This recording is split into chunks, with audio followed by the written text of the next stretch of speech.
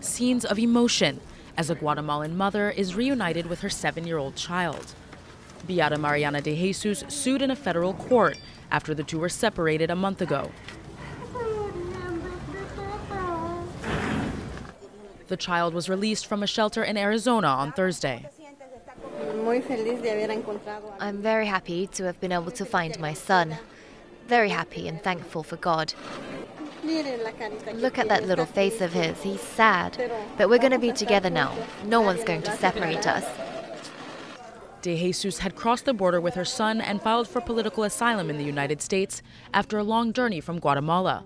The two will live in Texas pending her asylum claim.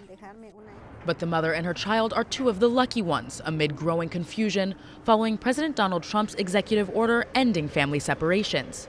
According to a Trump administration official, only about 500 of the more than 2,300 children separated from their parents have been reunited since May.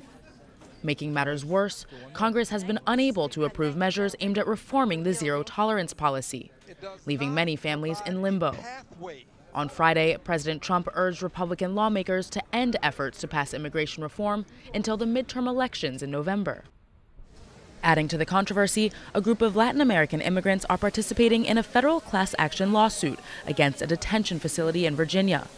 They claim they were beaten while handcuffed, subjected to long periods of solitary confinement, and left naked in cold concrete cells.